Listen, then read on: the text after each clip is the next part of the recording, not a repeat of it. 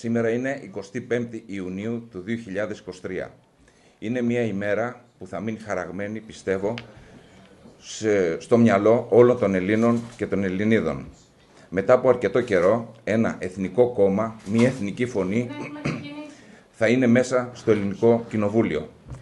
Οι Σπαρτιάτες αντιπροσωπεύουν όλα τα ιδεώδη του ελληνισμού και τις αξίες που σήμερα λείπουν από τη χώρα μας. Οι Σπαρτιάτες έρχονται όχι για να διχάσουν, έρχονται για να ενώσουν. Το βασικό ρητό των Σπαρτιατών είναι ισχύς εν τη ενώση. Κάτι το οποίο δυστυχώς λείπει σήμερα από τη χώρα μας. Θα ήθελα μέσα από την καρδιά μου, στο δύσκολο αγώνα που κάναμε περίπου για τρεις εβδομάδες, να ευχαριστήσω όλους τους Έλληνες και τις Ελληνίδες που μας εμπιστεύτηκαν με την ψήφο τους. Θα ήθελα επίσης να ευχαριστήσω και τα εκατοντάδες μέλη μας σε όλη την Ελλάδα που δούλεψαν ακούραστα όλο αυτό το μικρό χρονικό διάστημα για να φτάσουμε σήμερα εδώ και οι Σπαρτιάτες να μπουν στη Βουλή με ένα πάρα πολύ ε, σχετικά καλό ποσοστό, για αρχή τουλάχιστον, και θα δούμε στη συνέχεια. Θα ήθελα βεβαίως να ευχαριστήσω και τον Ηλία Κασιδιάρη για την σημαντική βοήθεια που μας έδωσε.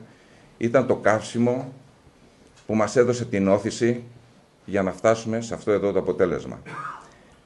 Θέλω να ενημερώσω τον ελληνικό λαό ότι θα σταθούμε αντάξει των προσδοκιών του και θα φέρουμε ένα νέο ήθος και ύφος στο ελληνικό κοινοβούλιο.